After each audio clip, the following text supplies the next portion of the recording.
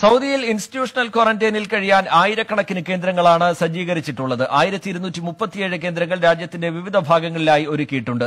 വിമാനമിറങ്ങി നാല് മണിക്കൂറിനകം ഹോട്ടലിൽ എത്തണമെന്നാണ് നിർദ്ദേശം. സൗദിയിലേക്ക് വരുന്ന യാത്രക്കാർ സൗദി ടൂറിസം മന്ത്രാലയത്തിന്റെ അംഗീകാരമുള്ള താമസ കേന്ദ്രങ്ങളിലാണ് ഇൻസ്റ്റിറ്റ്യൂഷണൽ ക്വാറന്റൈനിൽ കഴിയേണ്ടത്.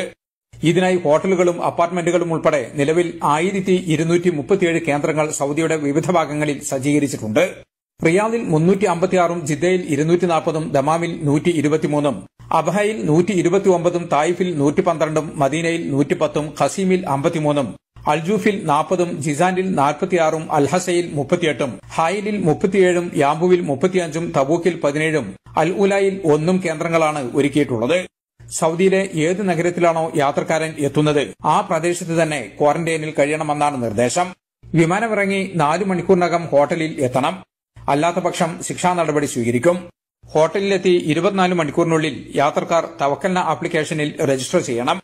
ഹോട്ടലിൽ യാത്രക്കാർക്ക് വെവ്വേറെ താമസ സൌകര്യം ഒരുക്കണം എന്നാൽ തൊട്ടടുത്ത ബന്ധുക്കൾക്ക് ഒരുമിച്ച് താമസിക്കാം. കൂടാതെ ഭിന്നശേഷിക്കാർക്കും പ്രായം ചെന്നവർക്കും സഹായികളെ കൂടെ താമസിപ്പിക്കാം. Twenty four Jeddah